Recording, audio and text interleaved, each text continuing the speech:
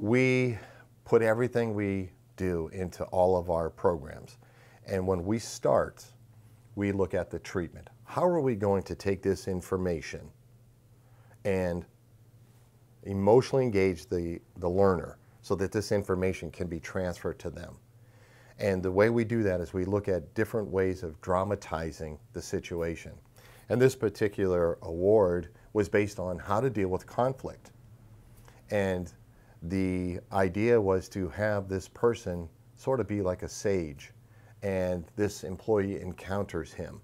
And so now this sage is interacting with this person, and then we get to see how the situations first started dealing with conflict and then how it's resolved. And we entered the film into the contest and we won.